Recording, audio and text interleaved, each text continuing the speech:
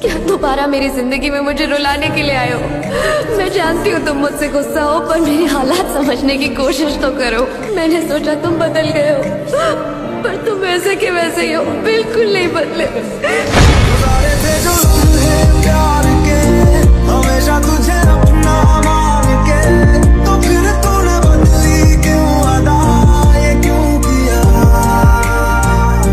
Bin Jio I got 500 cash. நண்பன் வணக்கம் நான் உன்னை காதலிக்கிறேன்